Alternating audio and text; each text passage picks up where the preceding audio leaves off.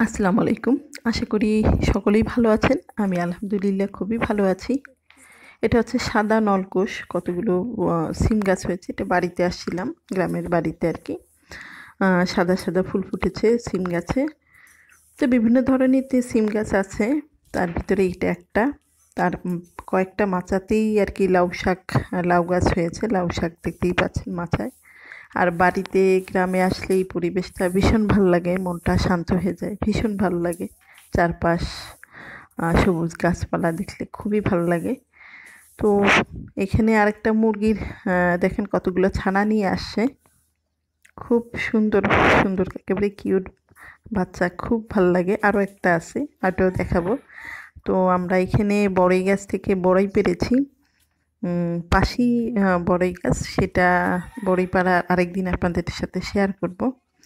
আর এইখানে বাড়ির সামনে আরেকটা মাচা, এখানে লাউ, কুমড়ো আর পুঁই শাক একত্রেই আর কি। গত বছরে পুঁই শাক আছে, তার সাথেই একটা লাউ গাছ আর পাশে একটা কুমড়ো গাছ, মিষ্টি কুমড়ার একটা গাছ একত্রেই হয়ে গেছে, এই মাচাতেই উঠে আছে।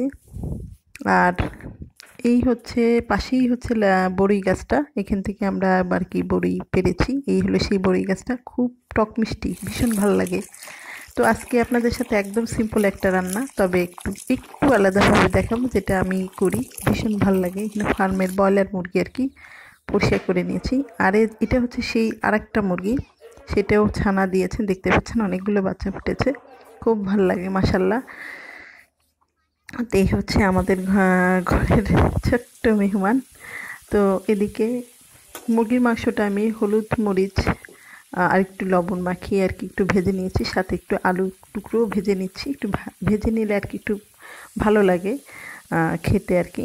তো এদিকে আমি মশলা কষিয়ে নিচ্ছি। তো মশলা আমি নিচ্ছি মুরগি মশলা যেমন নর্মালি যা রান্না করি সেটাই। পেঁয়াজ বাটা একটু বেশি পরিমাণে নিয়েছে, যেহেতু পনেরো দুই কেজির মতো মাংস আমার এখানে। আর আলুও নিয়েছি প্রায় অনেকটাই, এখানে তিন চারটির মতো। তো আমি এখানে পেঁয়াজ নিয়েছি, চার পাঁচটি বাটা নিয়েছি, পেস্ট আর কি। আদা, রসুন বাটা নিয়েছি, এখানে দুই চা চামচের মতো। একটু মশলাটা একটু মোটামুটি একটু ভনবো। হলুদ মরিচের গুঁড়ো নিয়েছি, এখানে হলুদ মরিচ নিয়েছি তিন চা চামচের মতো। আর হলুদ গুঁড়ো নিয়েছি দুই চা চামচ। এইটা, আর জিরা বাটা নিয়েছি, এখানে দুই চা চামচ। আর নিয়েছি গরম মশলা, দারচিনি, এলাচ নিয়েছি দুই টুকরা করে, এলাচ নিয়েছি তিন চারটি। এই মোটামুটি দিয়ে আমি একটু কষিয়ে নিচ্ছি। গোলমরিচ দিয়েছি এখানে চার পাঁচটি একটু গোলমরিচটা দিলে একটু ঝাঁঝালো হয়, বেশ খেতে ভীষণ ভালো লাগে। লবঙ্গ নিয়েছি দুটি। এই, আর সাথে আমি আরেকটা জিনিস যেটা দিই, ফার্মের মুরগিতে জয়ফল, জয়ত্রী সামান্য একটু আর কি, এটা পেস্ট করে নিই, জিরার সাথেই আর কি। তেজপাতা নিয়েছি দুটি। এইদিকে মশলা দিয়ে আর কি মাংসটা কষিয়ে ফেলছি ফেলছি। আর সামনে এটা হচ্ছে আর একটা গাছ, ঘরের সামনেই। এখানে দেখেন লাউ হয়েছিল কয়েকটা, তো আপাতত এখানে দুইটা আছে। একটা হচ্ছে পাশেই আর ভিতরে দেখেন বেশ বড় একটা লাউ, ওটা পাকানোর জন্যই রেখেছে বীজ, সামনের বছর হবে এই জন্য।